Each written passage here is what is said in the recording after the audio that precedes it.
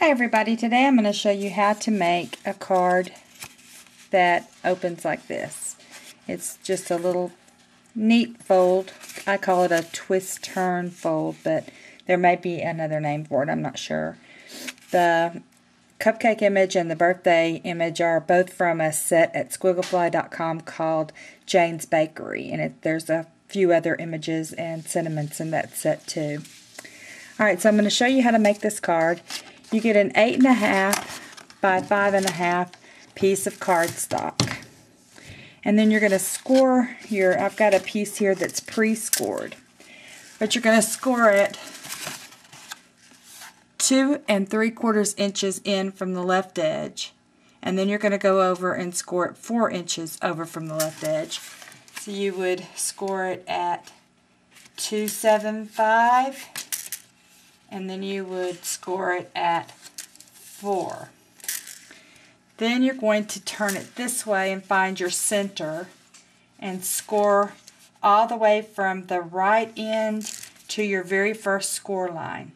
Then you're going to flip it over and score the rest of that center line up to the first score line. You do you flip it over because this is going to be a valley fold a mountain fold, a mountain fold, and this one is a mountain fold.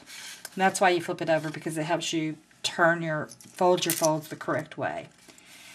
Then you're going to make a score line from the top of this score to the bottom of this score line and then in from the top of this one to the bottom of this one. Once you have that all done, go ahead and fold your mountain folds and then fold your valley fold which is going to go up to this first score line. And then you can turn it over and fold on your mountain fold. Then do your same thing with your diagonals and it helps if you use a bone folder to get those scores really nice and crisp. Then after you've got them folded, your card's going to kind of fall into place on its own. Just fold this valley fold down and let these diagonal lines push in and it'll just flip over and form its own little card. And I've got uh, another one that I've already done so that we can decorate it. Put my tape on it.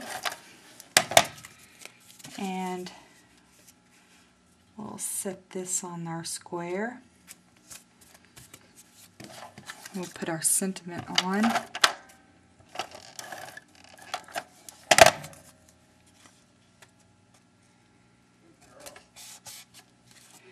And there you have a cute little birthday card that you can give to somebody. Of course, it doesn't have to be a birthday card. It could be any kind you want.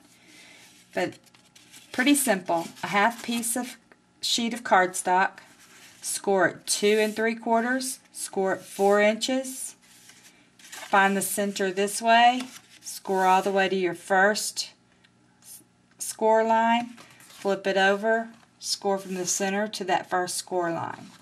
Make your diagonal scores, fold this in, and it will pop into place pretty easy. So I hope that you find that helpful and that you make a few of these. They're quick to do Super fast, super fun. And don't forget to visit Squigglefly. Thanks.